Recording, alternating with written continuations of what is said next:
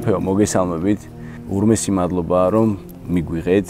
თუ შეგიძლიათ რომ ამ ადგილის მინდა ადგილის ალავერდის მნიშვნელობაზე რომ ვისაუბროთ.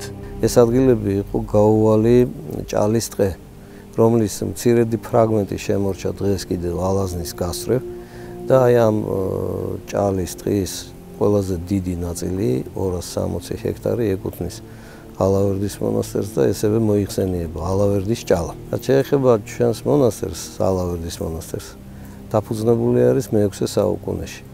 ღირსი მამის იოსებ ალავერდელის ლოცვის შრომითა და ღვაწლით.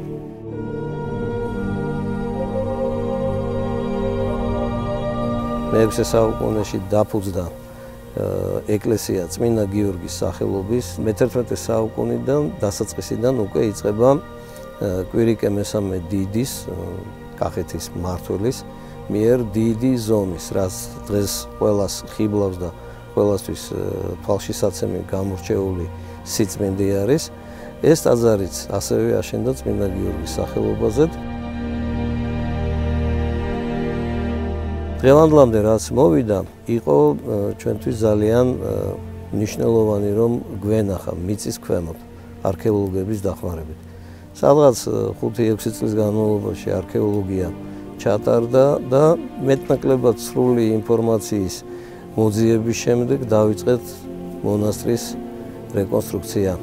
ასე მივადგეთ პირველად ალავერდის ისტორიულ მარანს, რომელიც მე-11 საუკუნის არტეფაქტებით იყო სავსე და გადავწყვიტეთ, რომ მონასტრის მარანიც ყოფილიყო მე-11 საუკუნის, თორე სრული უფლება ჰქონდა, რომ გვეთქვა არის მე-6 საუკუნის.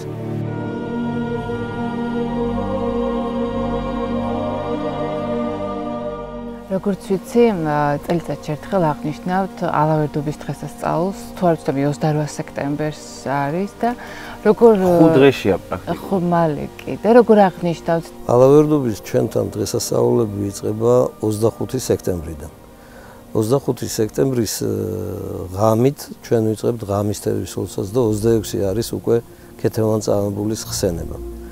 26 სექტემბრის ღამით ვიწყებთ ლოცვას და 27 სექტემბერი დილა არის უკვე ჯვრის თაყვანისმის ჯვართამართების დღესასწაული. ხოლო 27 სექტემბრის ღამით ვიწყებთ ღამის თევას და უკვე ხსენება არის 28-ში იოსებ ალავერდელის, რომელიც დამფუძნებელია ჩვენი მონასტრის. აქვე მინდა კითხოთ, მაშინ როდესაც ქართულ ამბანს მიენიჭა ცოცხალი კულტურული ძეგლის სტატუსი, თქვენ აქტიურად იყავით ასევე ჩართული ამ პროცესში და როგორც ვიცი, სამ ამბანზე შეგიძლიათ რომ წეროთ. საერო განათლებით არქიტექტორი გახლავართ. мама იყო ხატვარი და პირველი შეხება მამის დახმარებით იყო, როდესაც დავალებებს მაძლევდა რომ აკადემიური შრიფტი დამეწერა და მევარჯიშა მის წერაში.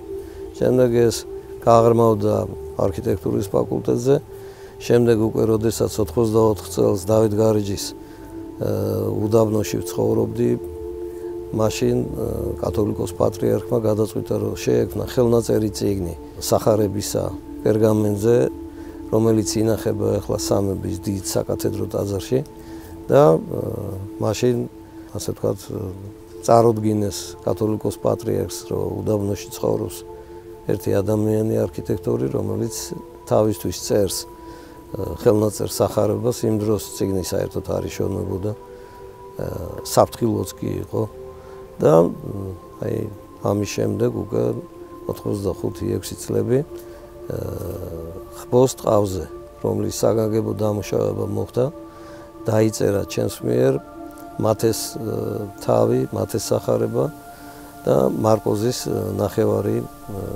თავი სახარება, იმიტომ რომ შემდეგ მოხდა უკვე ჩვენი სასულიერო პირად ხელდასხმა. ძალიან დიდი მადლობა გვინდა გითხრათ მე უფე იმისთვის რომ გვიმასპინძლეთ და ძალიან დიდი იმედი მაქვს რომ ჩვენი მაყურებელი კიდევ უფრო მეტად გამდიდრდება სულიერად ამ ჩვენი დიალოგის შემდეგ. მადლობა.